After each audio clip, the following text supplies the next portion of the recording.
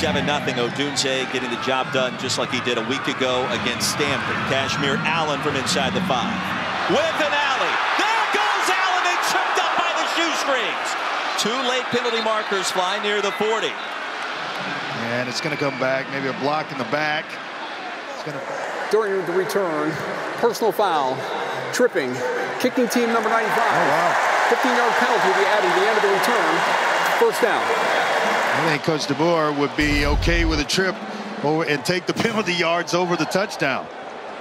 And I mean, just trying to split and the kick, the kicker actually just kind of hangs that leg out there and trips him up. But he, otherwise, he's gone. So you take the 15-yard penalty over the six points any day of the week.